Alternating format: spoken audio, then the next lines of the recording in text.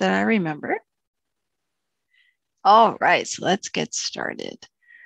Welcome to the Bible Study Women's Chapel 71 Women's Bible Study. We are in lesson four of the Women of the Bible. So, welcome. I'm always honored to have you here as we do lesson four. So, let's pray and we'll get started. Father God, be blessed today, Lord, by the studying of your word as we gather together as sisters in Christ to learn more about you and what you have in store for us. Your calling for us, Lord, to further your kingdom here on earth, using the example of these women in scripture, Lord, that you gave us. And we are so thrilled to be able to study your word in the middle of a busy day. Thank you, Lord, for that honor. In Jesus' name, amen. Okay, so last week we looked at Ruth. No, that was Esther, wasn't it? Did we look at Esther? Oh, don't tell me I got that one wrong. anyway, I'm just still so discombobulated because of what happened last week with our bathroom. This week, we are looking at the virtuous woman and who she is in scripture. Now, remember, the virtuous woman falls under the Proverbs. And the book of Proverbs uh, are different types of writings. They're under the poetical writings, however, written by King Solomon. Some of them are commandments of the Lord, and some of them are wise sayings. And the virtuous woman, the virtuous wife, falls under the wise saying. So it's not a commandment. I know I've been in a lot of Bible studies about the virtuous wife, virtuous women. And so many times women leave there thinking, oh, this is a commandment. I'm supposed to do all this stuff in Proverbs 31. No, it is just a book written, but it's a very helpful book. But it falls under the poetical writings. And these books are written by King Solomon, the wisest king who ever lived. And it, Proverbs 31 was written by an Egyptian king that many scholars believe was Lemuel and they are the words of his mother. So she was giving him wise, sage advice. It's not a commandment. These were not commandments of God telling you this is what you are supposed to be as a woman. No. So, who wrote it? Well, like I said, many scholars believe the Egyptian king named Lemuel wrote the words of his mother. She was giving him advice. So, what is it? It's a passage in scripture about the vir- a virtuous woman or a wife that she was saying to the to her son who's going to be king, this is advice on how you select a queen. And many scholars believe it was written in Egypt or Babylon during the time of the exile, around 700 BC. They're still not 100% sure, but that's kind of a, a consensus among biblical scholars.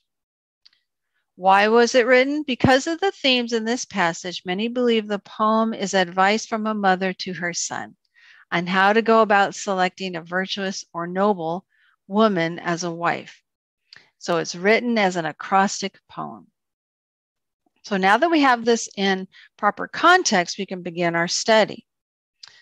This is a quote by Darlene Schacht, who uh, is a very famous singer. She said, A virtuous woman isn't ruled by her passions, she passionately pursues an incomparable God or incomparable God, sorry.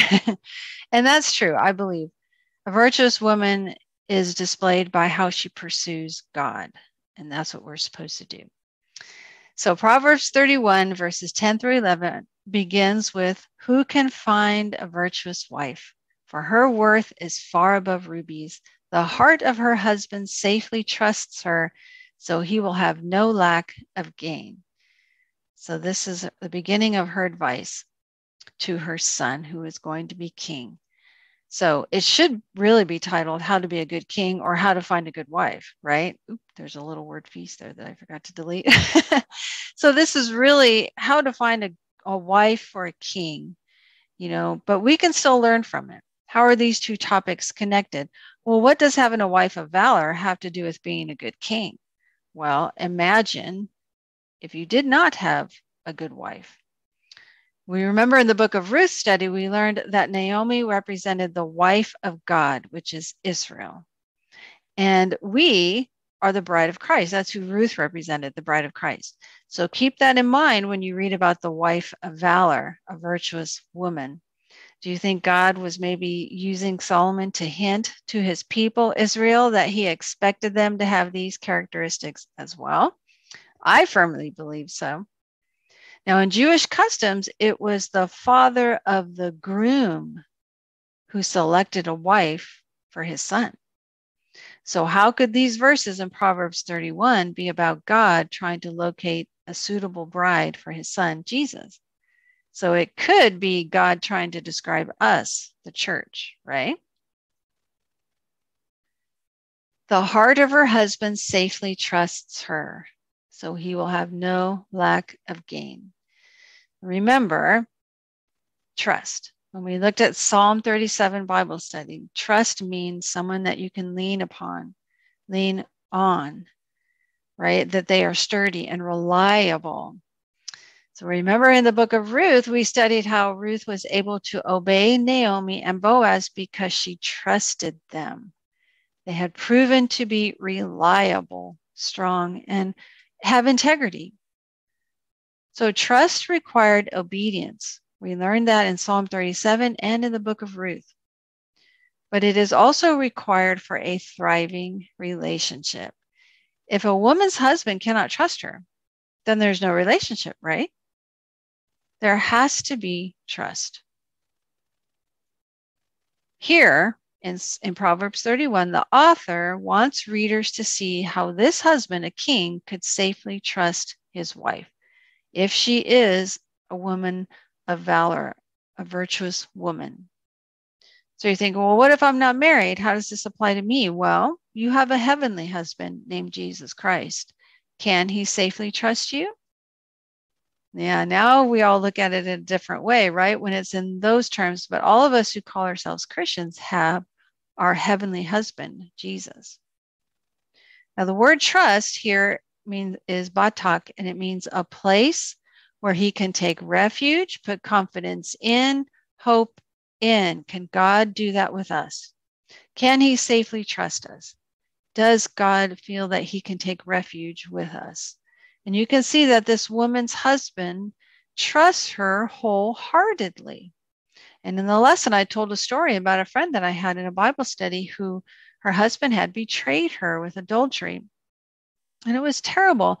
And they were in counseling, though, trying to work things out.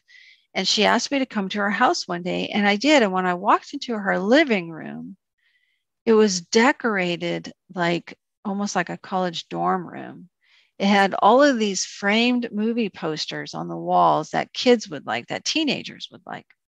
And it was painted in bright, loud colors. And had a huge stereo system and a huge television. And it just, I felt like I was walking into a teenager's bedroom or a college dorm when I walked into her house. I was shocked that that was her main living space and her husband's living space was delegate, delegated to a loft upstairs where his office was and such. And I just felt so uncomfortable. And I told her, I said, you know, later on, I told her, you know, your husband has to be able to take refuge in his home. I mean, come on, this seems like a home for your children, not necessarily for your husband. And that's when she confided in me that she didn't care that his betrayal meant she, you know, their bond was severed and she really didn't care about whether he felt like this was his home anymore. And my heart just broke because that adultery, you can see how it just severs everything. And her heart was still so broken. And so I, I started praying for her that maybe she would change her ways, but no, it was our that bond was severed by her husband's adultery. So you can see how marriage is just so important to God, that it represents our relationship with Him, that covenant that He entered into with us. He will never break it, but how often do we break it over and over again? Yet He remains faithful even when we are unfaithful to Him. But in Proverbs 31, his mother is saying, Find a wife, a woman, where she will provide trust for you, where you can take refuge, put your confidence and your hope in her. That he can trust you wholeheartedly with his confidences.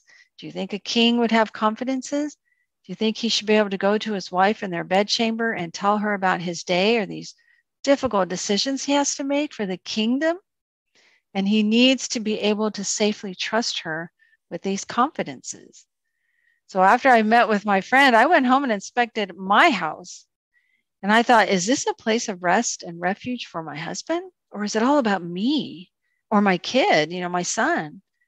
And that's what we need to remember is our homes are also for our husbands as well. It's just not all about us. So I like to keep my decorations um, not all frou frou and frilly. You know, I like to keep them in a nice balance so that when my husband walks in, it also looks like a place where he lives too. Now think about your heart for Jesus. Is your heart a place where he can take refuge and put confidence in and hope in? Is it a place where if Jesus walked into your heart and saw your inner thoughts and hopes and dreams, it would mesh directly with his hopes and dreams for you. And even your house, if Jesus were to walk into your house, would he be shocked by some of the things he sees? or would he feel wholeheartedly blessed to be in your home? So we need to remember that our husbands need to safely trust us and have confidence in. And if we're not married, we need to remember God, our, you know, Jesus, our heavenly husband, has to safely trust us and put hope in us. Remember Queen Vashti when we learned about Esther. She did not do good for the king, and she was doing some evil, right? She was proud and too confident in herself. And the king, Xerxes, could not safely trust her with his confidences because she refused his order. So, in comparison to Esther, though, remember, she was obedient and she trusted and she provided a way that the king could trust her. And as a result, her people were saved. So, we should not do harm to our husbands. We need to do good for him and not evil. For a time? No all the days that we are alive and married. And again, if you have Jesus as your heavenly husband, same thing. we need to do him good and not evil for the rest of our lives. So we can't be like Queen Vashti. We need to be more like Esther. Now, this is the part that a lot of women cringe whenever they do a Bible study about the virtuous woman, because they think she did all of these things in one week or in one year. No, she did all of these things over a lifetime. Okay. And it's just a representation of what a virtuous woman could be like. So is the ver- is the mother of uh, Lemuel talking about herself? Perhaps. Maybe she's saying, "Remember how I did this and did that." That's how. That's the kind of woman you want. Or maybe she was describing someone that they both knew. We don't know. But all I know is when you take apart these verses, you can see how you can apply them to your life as well. Number one, she was diligent with her time. In Proverbs 13 or 31, 13 through 16, it says, She seeks wool and flax and willingly works with her hands. She is like the merchant ships, and she brings her food from afar. She also rises while it is yet night and provides food for her household a portion for her maidservants, and even she considers a field and buys it. Right? She, and from her profits, she plans a vineyard. So, wow, she is really diligent. She makes good use with her time, rising early in the morning and taking full advantage of sunlight throughout the whole day. She has, you know, maidservants, so we know she's of wealth, but she still works with her hands. She doesn't give everything over to her servants. She still does things for her family. She brings food from afar for her family. So what I can what I think we can take away from this verse, all this passage is that we should work willingly, not begrudgingly. And that's the part that's difficult for me. I admit that I do oftentimes work and grumble and complain. I'm a hard worker. I have my parents' work ethic, that's for sure, but I do have a tendency to complain. and I need to get rid of that habit. And I've been working on it in my 55 years. And, you know, I've been working since I was 16.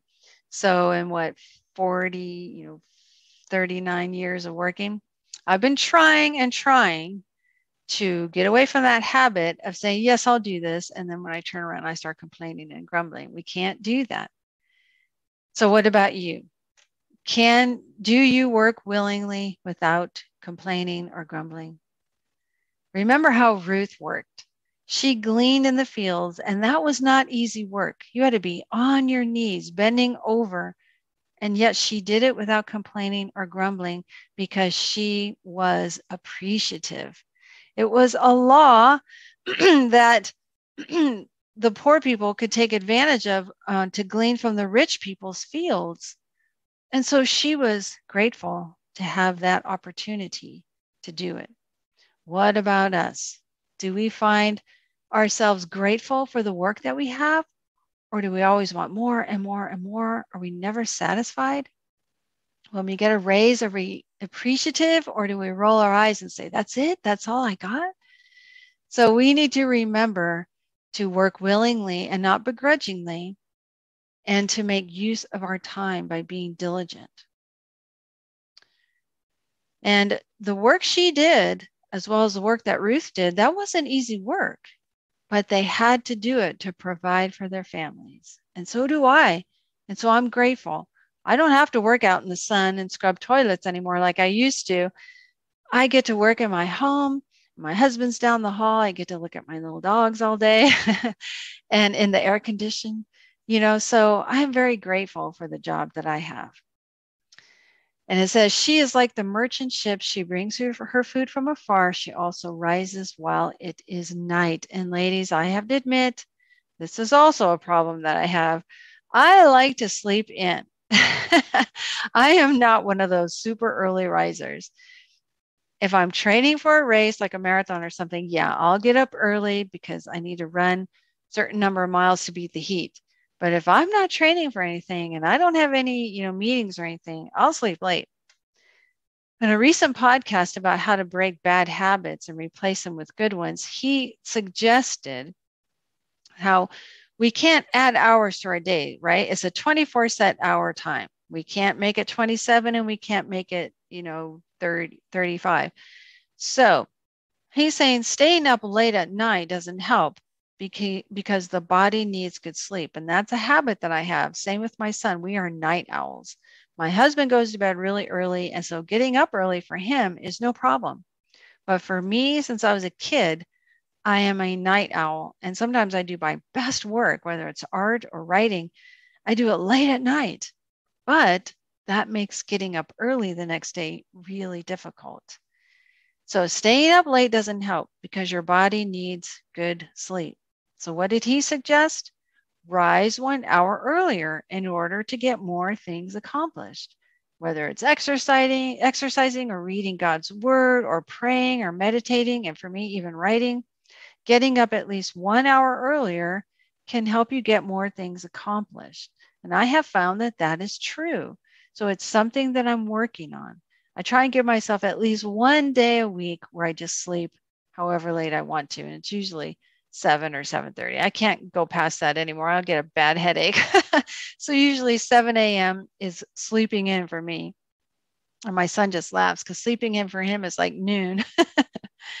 but if I rise one hour earlier each day, I can find myself getting more things accomplished. And I've talked with many writers who write like at four in the morning until six.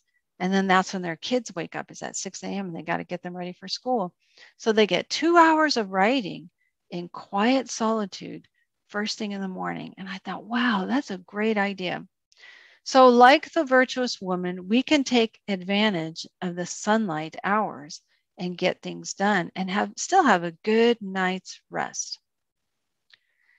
But before I go into the next slide, remember all those verbs that we saw. She seeks, she works, she brings, rises, provides, considers, profits. In other words, she's active. and we have to remain active. Now, this slide is about comparison.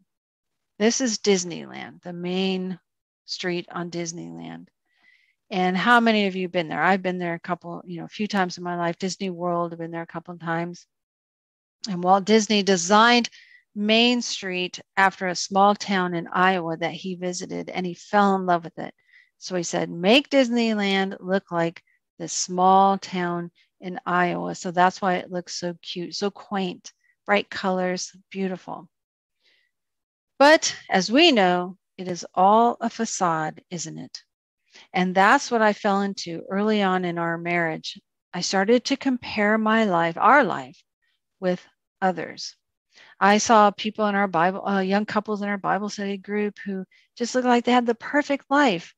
You know, they were on their second house, having a second house built. They drove new cars, nice clothes. They had two or four kids. You know, everything just seemed to be going so well with their lives that I started to look at my life and it just didn't compare. And I became envious of them and coveting their material wealth. I also envied their education because at that time I didn't have my degree. And so their lives looked like Main Street Disneyland, so perfect. And I started to become unhappy with my life. And my husband noticed that. And he reminded me, you know, remember that one time when we went to Disneyland and our son was little and we had one of those silhouettes cut out in a cute little shop on Main Street? And I said, Yeah, I remember that. And he reminded me how while our son was having the silhouette cut, I leaned against the wall in the back and a door opened in the back of the little shop. And I looked back there, and that's when I saw a, like a desk from the 1980s, you know, and an old office chair and all this computer equipment and stuff back there. And it took me out of the fantasy of this being an old town in Iowa to reality that this was a business. And everything outside, including the little shop, was a facade. It was all fake. I'm sorry to burst your bubble if you didn't know that, if you really thought this was true, if you really thought Main Street was true. Well, it's not. It's all a facade that um, Walt Disney wanted built to replicate a gentler time, you know, in in history. And that he reminded me of that. And I said, You're right. I remember how disappointed I was to see that office furniture and things from the current time, you know, and re- be reminded that this is all make believe. And so he said, You know, you can admire their this these couples, you know, their cars, their houses, their wealth. However, you don't know what's going on in their lives. They could be up to their eyebrows in debt. You don't know. So stop, you know, envying them. And just remember, their lives may look perfect like Main Street Disneyland, but we don't know what's going on behind the scenes. And I remembered that. And I thought, oh, thank you so much for, for bringing me back down to reality and not to compare. Comparison is the thief of joy. So in this study, we're not comparing your life to the virtuous woman. No.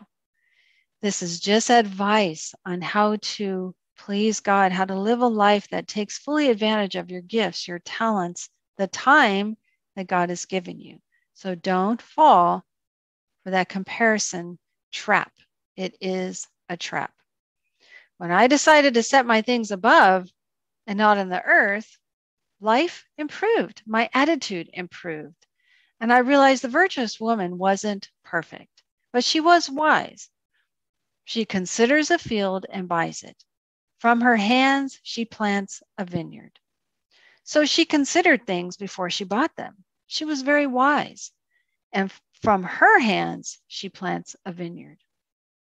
So, what we can learn from the virtuous woman is to seek out what is wise, to look before we leap, and to count the cost of our decisions.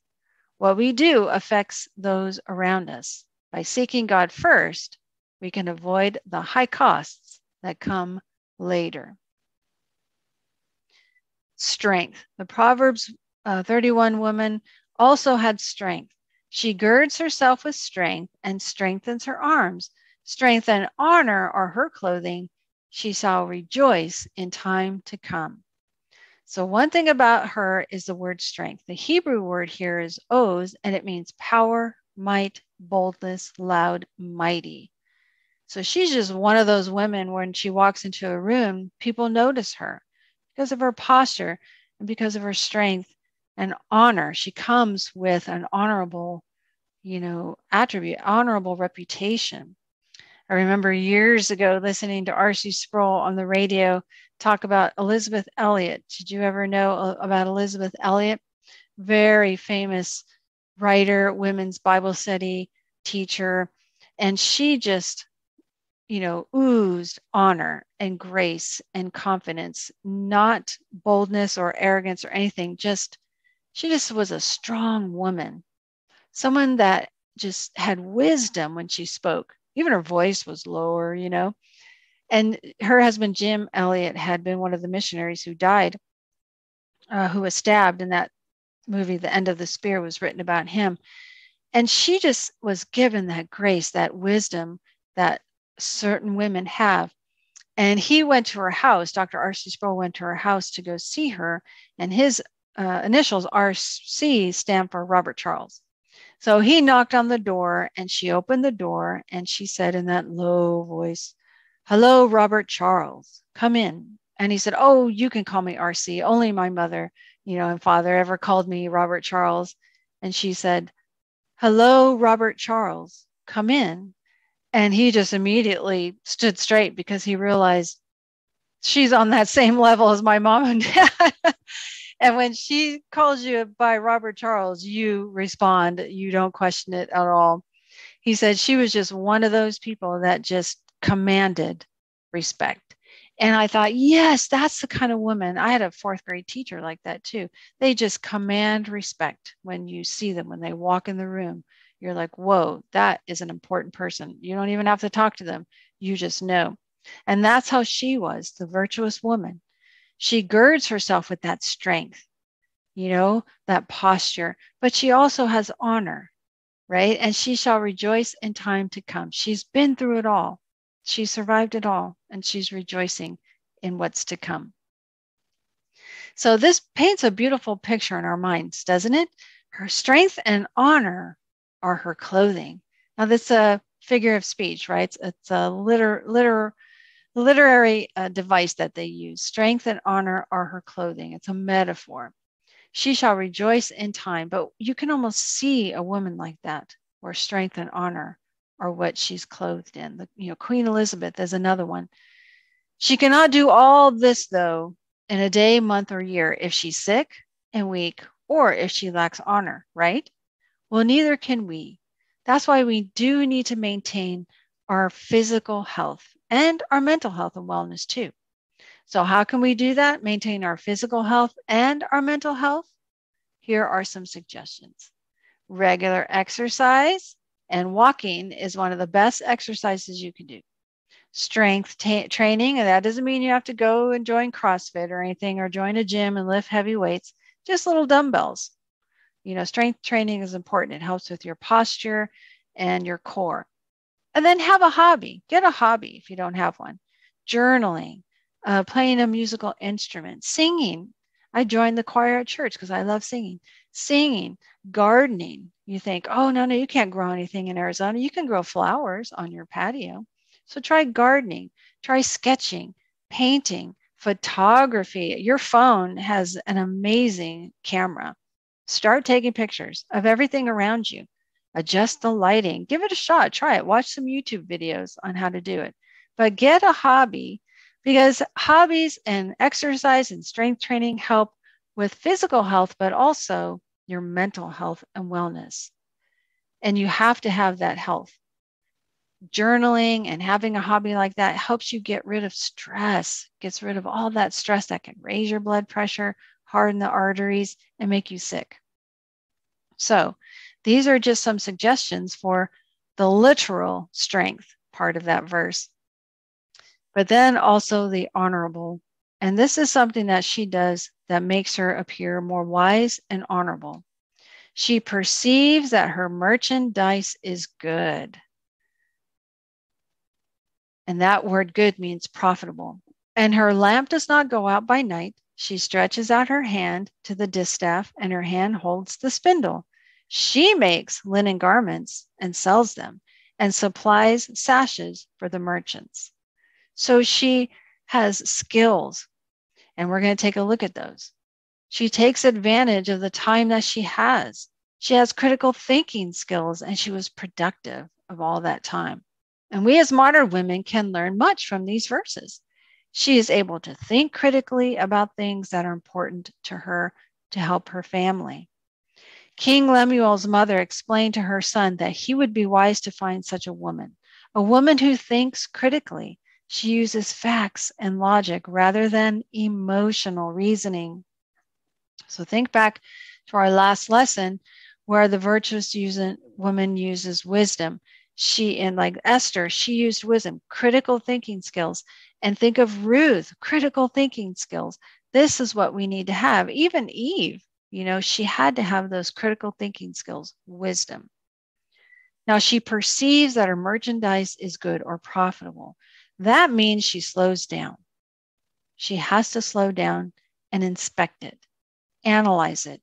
She's aware of the quality before it heads out to be sold. And this takes time and effort. You don't want to just slap something out there. I can't stand that. For me, it comes down to like even my my artwork. If i'm commissioned to do a portrait i know that someone's paying me to do this painting so i want it to be the best but it represents me it represents god it represents my family you know or my books. When i write a book and i put it out there it has my name on it and i'm a christian so therefore it has jesus name on it. So it means something right? And it represents my family. So is it profitable Will it further the kingdom of God? Think about that. I can't remember if I told the story in this lesson or not, but when I used to work at a frame shop, my uh, boss had a quality assurance check. So before anything left that frame shop, frame shop, she would have us do a QA on the whole product, front and back, to make sure it looked perfect, as perfect as humanly possible, because she realized her sticker Framing Works was on the back of that picture that we just framed. So that reputation was going with it. And she had a reputation for only giving out high quality work. Well, she, she sold the shop that I worked for. So I got a new manager who came in, a new owner. And well, he didn't have a QA system. So I just kept maintaining the one that I was taught. Well, one time I saw him putting together a framed picture and I saw that it had a massive mark on the map board around the poster. And I said, wait a minute, you can't send that out. He goes, oh, it's just for a friend. I did it for free. It's just for a friend. I said, I don't care. Our sticker is on the back of that. Our reputation is on the back of that. I don't want someone seeing that hanging on his wall with that great big old mark on the map board. We need to fix it but he didn't and he sent it on its way. And i didn't stay there at that frame shop much longer. I quit because i felt like we worked so hard to maintain that reputation of giving out high quality work. And he was just so willing to just throw it out the window. And i thought no i can't be a part of that. So that's what she does. She slows down and perceives that her merchandise is good or profitable for her for her family and this king's mother is saying, that's the kind of woman that you want. Well, what about us? Do we take time to slow down and perceive that our merchandise is good, profitable for the Lord? Well, what is our merchandise? Our work that we do, our ministries, our marriages, if you're married, your walk with Jesus, your children, your time. Do we make good use of our time? Is it profitable? Even your thoughts, are they profitable? Are they good? How can you take the time to perceive, to ensure that all of these parts of your life are profitable to the Lord to further his kingdom? That's what I take away from those verses. What about you? Now we see here that she also had a strong work ethic. Her lamp does not go out by night. What does a strong work ethic look like to you? I was raised by two oh, amazing workers. My mom had been a nurse for many, many years, and my dad was a truck driver. And when I was a kid, around nine, 10 years old, they also bought a janitorial business. So my mom would work full time during the day. At that time, she was working at a um, a huge shop, um, Shore Electronics. She was working at a huge organization, and my dad was a truck driver. He'd get up at 1.15 in the morning and work from 3 a.m. until 3.30 in the afternoon. My mom would get home at 4. We'd quickly eat dinner, and then we'd head out to clean offices as janitors, sometimes walking in the door at 8 o'clock at night. Then my dad would shower, change, go to bed, and the day would start all over again when his alarm went off at 1, 1.15. I remember that. We did that for years. And I don't know how my parents did it because my dad's truck driving job was not easy. He delivered Dolly Madison donuts all over Phoenix, Wickenburg, Flagstaff. And he just worked crazy hours. And my mom was on her feet all day, and they still had two jobs in that business. And so I asked my dad one time, How did you do it? He said, I had four kids to feed. And that's what got me up every morning. And I thought, Yep, I can see how that would do it when you have a mortgage and, you know, cars that need repairs and four kids to feed. That would get you up in the morning. So I admire my parents' work ethic like crazy, and they in, instilled it into us. So, you know, my sister worked at Honeywell for 35 years. I can't even imagine that and you know my brother works right now doing uh, at a dialysis place he gets to work at four in the morning and walks in the door at nine o'clock at night. And now i see you know i married a man who has an incredible work ethic. My husband in our 34 years of marriage has been out of work for two weeks. That's it. He has always had a job. And he got laid off and for two weeks he would get up in the morning, put on a dress shirt and tie and slacks, and sit at the computer and fill out applications online. I say, Why are you getting up, getting dressed? You could be in pajamas and doing that. And he said, Nope. If I have a professional appearance, then I will appear professional across the internet. And I was like, Wow, that's amazing. I admire that kind of work ethic. He worked two jobs for many years so that I could be a stay at home mom. And now our son has an incredible work ethic. He has been working 60 hour weeks. He finally got his promotion as a manager, and now he's still, you know, a fantastic worker. We tell him that all the time. So, work ethic is important. It's honorable to the Lord. Think about how you perceive your merchandise, right? She took advantage of the sunlight and the lamp oil after the sun sets. Why? Because she knew there's only so many hours in a day especially before electricity was invented. And our works for God reveal our faith in Him. God doesn't expect us to work 24 7, He expects us to rest. God Himself rested, Jesus rested. So this means we are to make good use of the time we are given.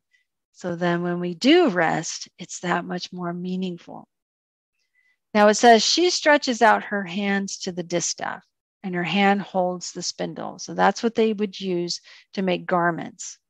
She makes linen garments and sells them and supplies sashes for the merchants. So it doesn't say that she had her servants do all this. No, she does it. Now, our work today looks slightly different, right?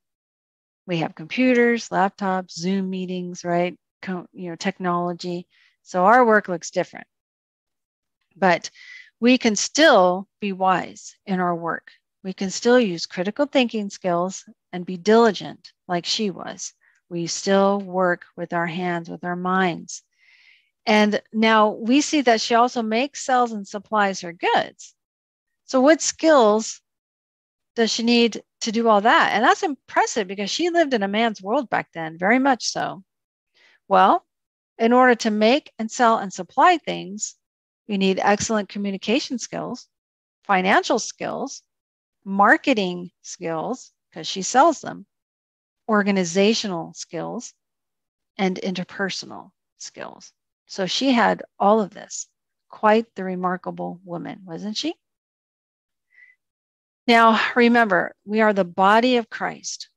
So the body of Christ is made up of various people with various gifts. That's what Paul told the early church. We have gifts and talents. So if we all come together to serve one God, then we are making good use of those skills and talents, those gifts that he gave us. Now, the body has one head. A body with two heads is a freak, right? So we have the body of Christ and it has Jesus as the head. But all of us, like in the hand, all the fingers come together to form the hand to work. You know, the foot doesn't want to be the head, and the pinky doesn't want to be the heart, right? We are each given our place in the body of Christ, our gifts, our talents, but they work together to do what? To further the kingdom of God. It's very much like music, like an orchestra. And each of the instruments separately sound beautiful, but when they are together and they know their parts and they play them well, oh, now we've got a magical composition. And when you listen to a live orchestra, it is that. It is magical, it's powerful. And that's how we are to be. We are to come together alongside one another. So if you don't have the organizational skills, seek someone out who does. And that person can come alongside you and help you or vice versa. If you know you're very good at organizing and you have a coworker or a friend who isn't, come alongside them and help them. That's what we're supposed to do. So we would be wise to always be learning about our gifts so we can come alongside others to support one another in wisdom. Whew, wow, she makes me exhausted. Doesn't she make you tired? How can we learn then from this amazing woman? Maybe she never existed. I don't know. Maybe she does. But we can learn this. To fully serve God and others, we must know how to think critically. And that's a different type of thinking. We must be able to clearly explain what we believe and be able to defend our beliefs using logic and clarity. But we also must be diligent with our time, right? So that we can create that merchandise, our work, our ministry, our family, our children, to provide to the world God's message. Clear, logical thinking will cause us to perceive our merchandise, our work for the Lord, is profitable to further his kingdom or not. That's the message God has for us, isn't it? We are only temporary, but he is eternal. The works he has for us are eternal. The things of this world are temporary. They're that facade, that main street at Disneyland. Which is most important and why? Now, the virtuous woman, there's so many lessons in this passage. So I wrote a Bible study years ago and have taught it. And I'll, I'll teach it again soon because I use some of the precepts from that study here in this lesson four. But for now, we'll end here, and I hope you can see how Eve and Ruth and Esther all fall into this category of the virtuous woman. And I hope that you can see how you fall into this category too. All of you are doing your best to perceive your merchandise as good.